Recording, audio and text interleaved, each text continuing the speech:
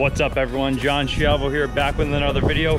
Today we're gonna go over some skills and training drills. I'm gonna head over to White Bear Lake. We're gonna head over there, have a good time, show you some drills to do at home, at the rink, wherever you are to train. Let's get to it.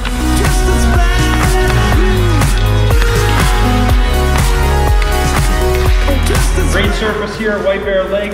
Sweet little facility. We're excited to be here and do some stick handling drills and shooting drills. So first drill here, we're gonna have the puck set up in a triangle, upside down, and I'm gonna have a cone or a puck a little bit out wide. So that's what we're skating after. So the triangle stick handling part is gonna look like this. So you're gonna push it up, outside the outside of the triangle, pull it down, around the bottom, back around the outside, and back around the puck. So you're always going outside to inside on this triangle. So you're basically drawing that V, just designing it so it'll be two on this side, two on that side before we sprint with the puck, turn around the cone of the puck, we're gonna come down the slot and just get a hard, good shot. So again, stick handling outside the pucks, down the middle, outside the puck, down the middle, really working the hands, getting comfortable. Okay, once we get there, we're sprinting up and out, make a tight turn, attack the net, get a hard shot. This is a great warm-up drill. Get the hands going. We're gonna quick sprint, a turn, and a good shot. So, turn this thing part again.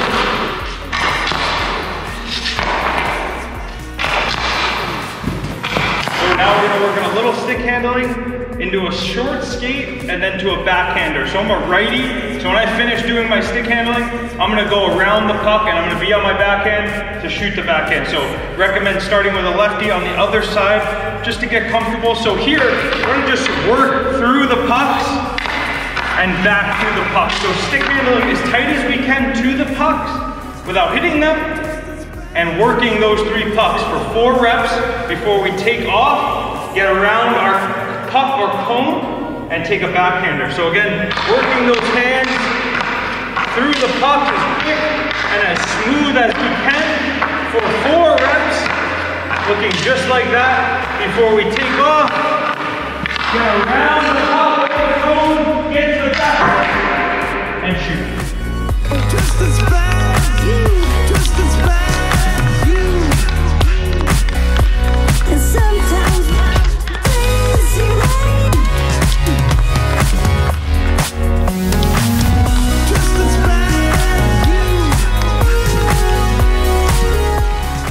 So this last drill, while we have the five puck set up, work on being far away. So it's a great drill.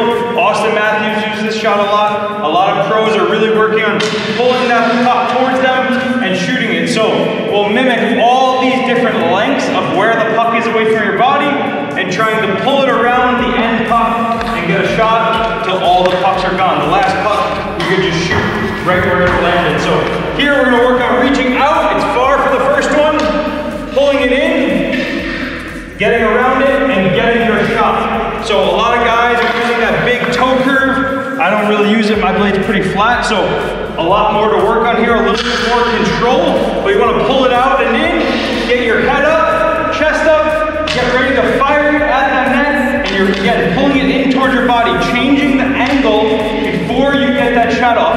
And now we have five different spots to pull that puck from. So a great drill to work on. You're just control, your body shifting, getting your head up, chest up, hands out, and firing that puck.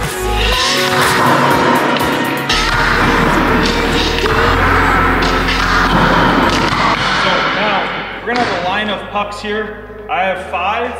I love doing drills like this where you can just be creative. You can do so much with pucks or cones, or even if you have the dekers, can go underneath it. But for now, we just have five pucks. So many drills we can work on. We can work on circles, both directions.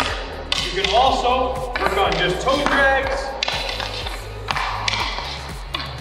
You can also work on just going through it as we were in the last drill. And then the last one, this is the drill I'm gonna do. So I'm gonna go to the backhand. I'm gonna flip it over the puck.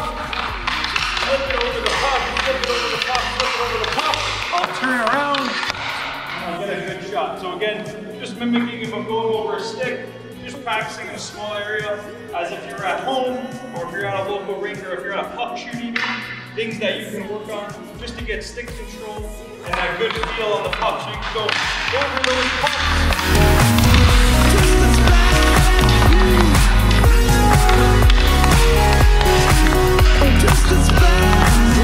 Really hope you enjoyed those videos. Joe and I have been working really hard to grow the game here at roller hockey in Minnesota. We are super excited about it. Make sure you like, subscribe, follow for more videos like this. Comment below what you want to see more of, and we'll see you next time. Peace.